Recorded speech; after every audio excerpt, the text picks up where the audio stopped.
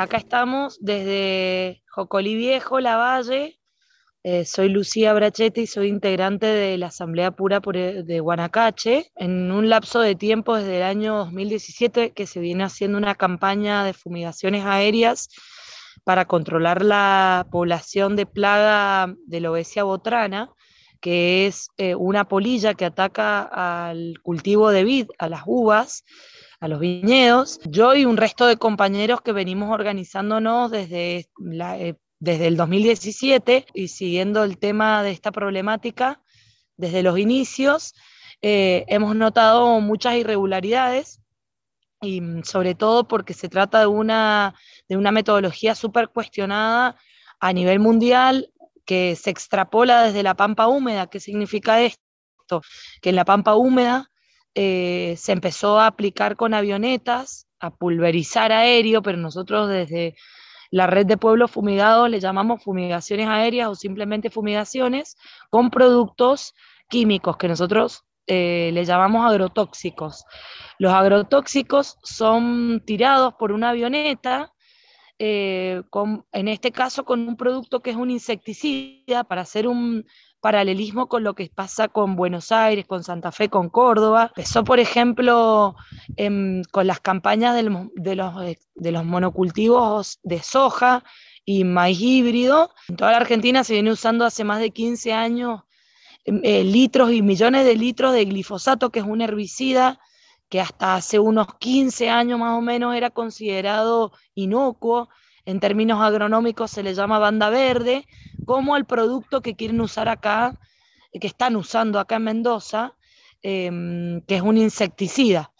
Sabemos hoy, después de 15 años, que este producto que se llama glifosato em, ya deja de ser banda verde y em, se ha declarado potencialmente cancerígeno Imagínense lo que puede ser este producto, que es un insecticida que combate la polilla de la vid, dentro de 15, 20 años, los estudios renovados que pueden llegar a sacar.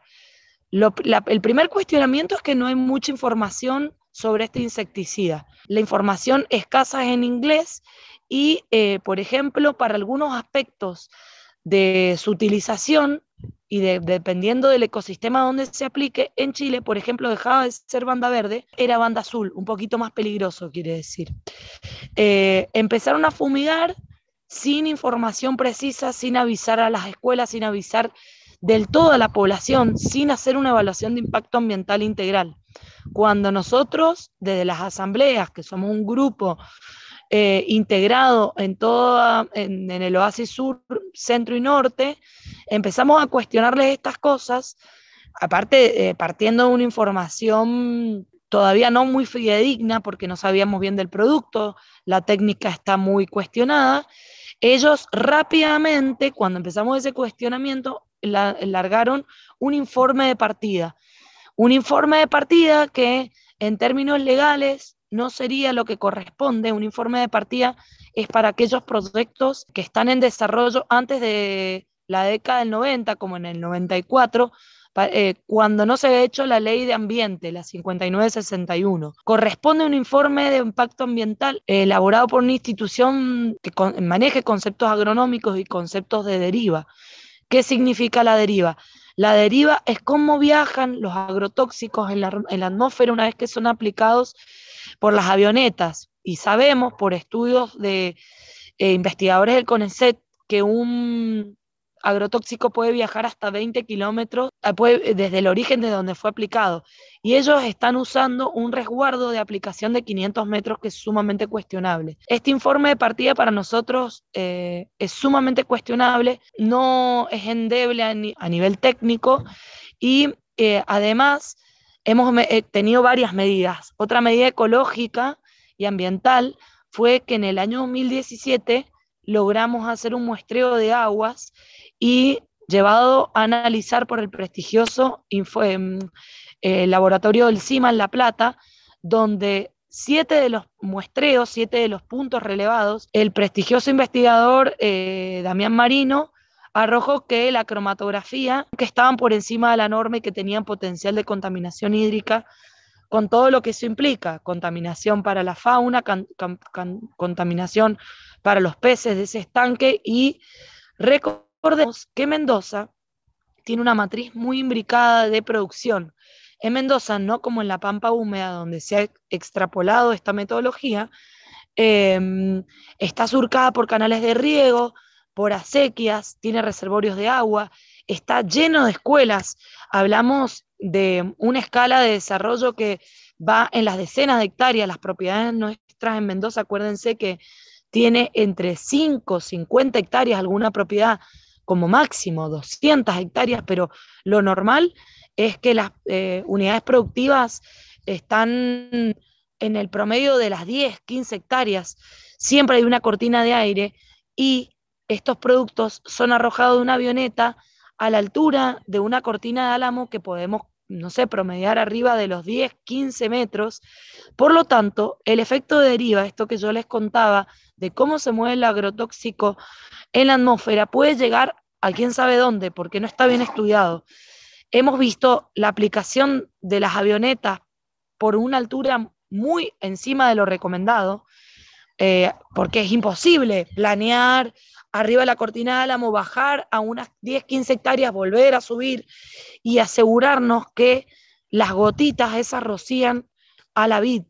Por ende, hemos, tenemos videos donde ellos están fumigando, aplicando el agrotóxico a mucha altura, con viento, encima de las personas, sobre instituciones como escuelas.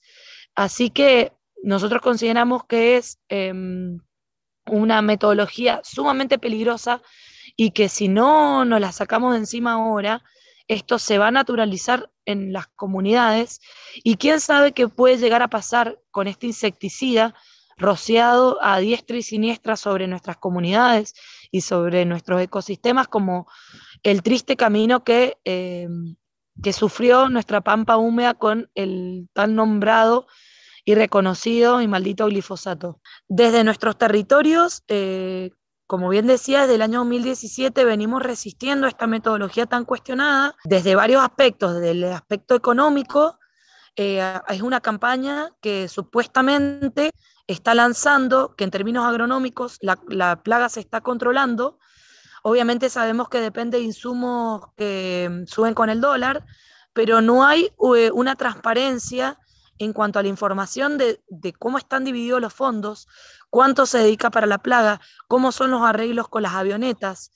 Eh, necesitamos como que las instituciones, eh, sobre todo el ISCAMEN, aclare em, el, margen de dinero que manejan, porque siempre que nosotros hemos metido pedidos de informe desde las asambleas, se, niegan a responderlo desde la parte económica y de la parte ecológica. Desde los aspectos políticos, eh, saber cuáles son las estrategias que se van a tejer, porque dijeron que iban a hacer, iban a hacer una campaña de no más de tres o cuatro años de fumigaciones y ya vamos por el quinto. Eh, la información no es brindada a tiempo y como estrategia legal, nosotros venimos eh, desde las asambleas resistiendo con denuncias penales. Eh, hemos metido una denuncia penal que eh, tiene que seguir cobrando curso en términos legales. La justicia obra muy lenta y más para delitos ambientales que son muy innovadores. Estos delitos para la justicia son muy innovadores. Así que el siniestro pasa, pasa tiempo y no hay respuesta a tiempo. Eh, otro tanto pasó hace tres años aproximadamente cuando eh, intentamos meter un recurso de amparo ante la justicia de Mendoza y se demoraron tanto tiempo en litigar que eh, la jueza nos contestó que como el hecho ya estaba consumado no había nada para hacer. Esas son las respuestas que nosotros tenemos de la justicia, habiendo aún adjuntado pruebas de contaminación de aguas. Así que mm, estamos nuevamente organizándonos para, implementar medidas ecológicas. Nosotros desde las asambleas eh, avisamos a la población de que registren cuando la fumigación es hecha con irregularidad, que eso implica eh, fumigar arriba de las cortinas de viento, de, álamos, eh, fumigar arriba de personas, de trabajadores, fumigar arriba de escuelas y que obviamente nos estamos enlazando con productores como los productores apícolas que cuestionan muchísimo la medida porque por más que digan que el insecticida eh, es inocuo para, las abejas, sabemos que al no, no haber información actualizada y científica que respalde esto, hay, hay apicultores que lo están respaldando. Eh, sabemos que es una medida delicada y que para el negocio vitivinícola puede llegar a no cerrar. Lo que sí estamos cuestionando es la metodología de fumigaciones. Así que esperamos que más, más población se concientice y que no suframos la misma historicidad, la misma historia que le está pasando a nuestras poblaciones amigas de los pueblos fumigados de la Pampa Húmeda.